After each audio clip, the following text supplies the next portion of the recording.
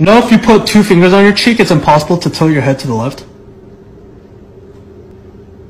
你真。